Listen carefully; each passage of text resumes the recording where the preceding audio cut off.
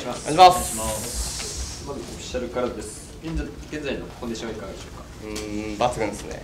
完璧です。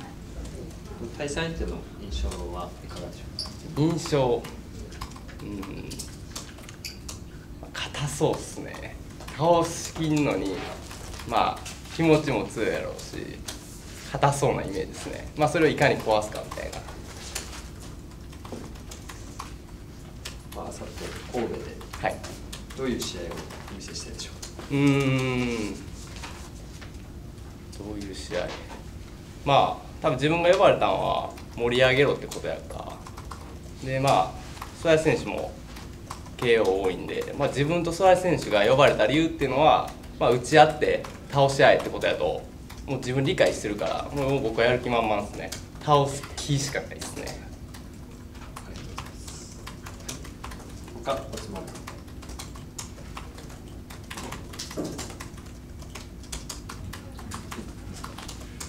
とまずあの自分のこうどういうところを見てもらいたいと思いますか？どういうところ？うん。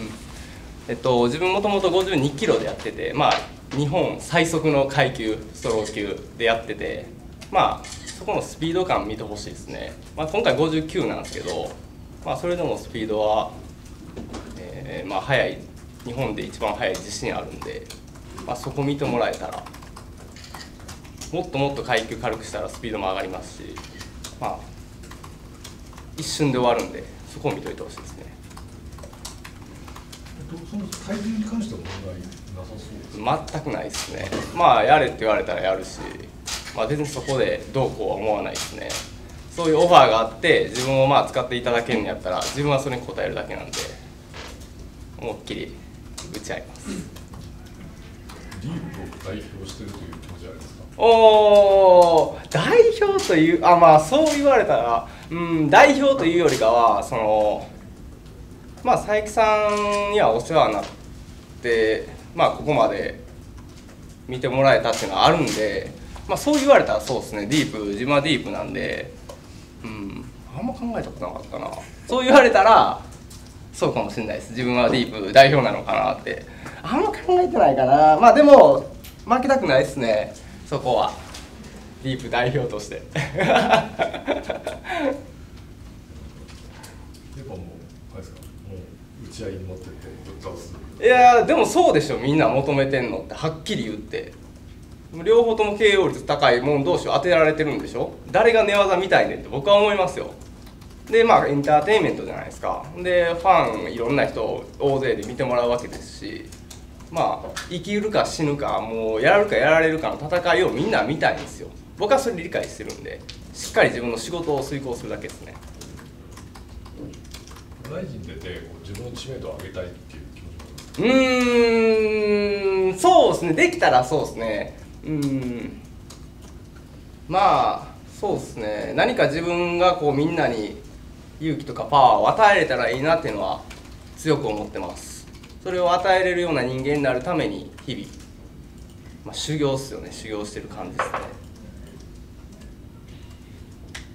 空手はいタイトルとか持ってるんですかタイトルうーん全国ベスト8ぐらいなんですかね、まあ、小学校の時なんで組手はベスト8までは行きました。でも別にそこまでされてたわけではないと思います。でも今は総合につながってるんでベースはそこっすね。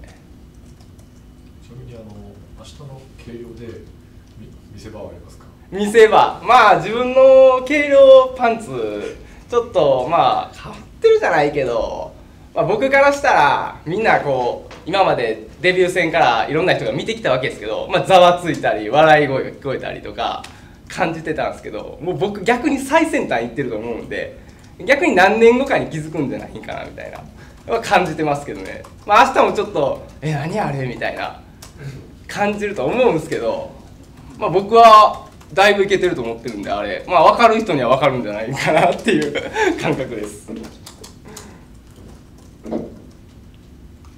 他ご質問ある方。はい。すいません。通常の体重ってどれぐらいなんですか？まあ60ぐらいですかね6160から61じゃあほぼ減量もなしですね。もう今までリミットなんで全く問題なしです。ちょっと先ほどのお話と重複しますけども、はい。ライジンででこれから先っていうのは何をどんなことを考えていらっしゃるんですか？うーん。あのー世界で戦ってみたいっていう気持ちが強く強くて52キロストロー級で。でまあ自分は通用すると思ってるんでもうワンのベルトは欲しいですねちょっとまあいろいろあるかもしれないですけど自分はやっぱりそこは目指したいです。若いうちに。でまあ日本を盛り上げたいっていう気持ちももちろんあるしで先にそっちに行くのかこっちに行くのかでまあ拾ってくれたのは雷神なんでまずここで自分の与えられた仕事は全うしたいとは思ってます。でちなみに今こう例えば他に何かお仕事してることがあるとかトレーナーとかしてらっしゃったりするのはかないです。これ一本ですでちなみにテーマがはい。ドライアイかなと思うんですけど、はいはいまあそうですね。あのなまあ一瞬で終わるんでまばたきすんなよって意味ですよね。もう最軽量のトップスピードを見せるんでまばたきした瞬間終わるっていう意味で。まあそのまばたきせんとこともドライヤーになるやろうなっていう。まあまあ衝撃すぎて目閉じんくなるでしょ。えそう。目薬持ってこいよ言うて。えそうすぐ身薬を持ってこいとそうです。びっくりすんなよ終わったらもう目閉じられへんなってんだ まばたき忘れてもらって八代選手どうですか？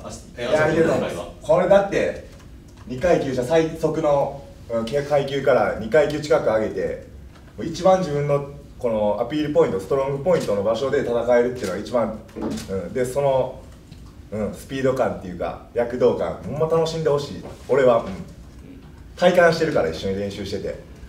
やっとやって。やっとみんなの前に立ってくれるんやって。楽しみです。普段どんないやどんな仲間ですか？性格も含めて。うーん。二人とも。もうライフスタイルから一緒っすよね、まあし仕事っていうかか格闘技が仕事やから、まあ、アメリカにも一緒に行ったりもしてますし普段から一緒にカフェ巡ったりとか ご飯食べに行ったりとか自然に行ったりとかもう普段からお互いのことを理解してるから自分が何をしたいとか試合も一緒なんですよ。試合も自分が何をしたいとか一番理解してくれてる人ですね。ちょっと話が変わりますけども名前の波にウェーブに光るは、あれは本名、本名です。はい。聞いたことありますか？親親になんでこれつけたのって。あのー、自分の親父とおかんが海で海が好きなんですよ。でまあ海でこう妊娠してる時に海を見ててすげえその自然の波がこう太陽に照らされてキラキラしてるのが綺麗っていう意味で、まあ、波が輝いてたんで並木っていうふうにつけてもらいました。よくわかりました。ありがとうございます、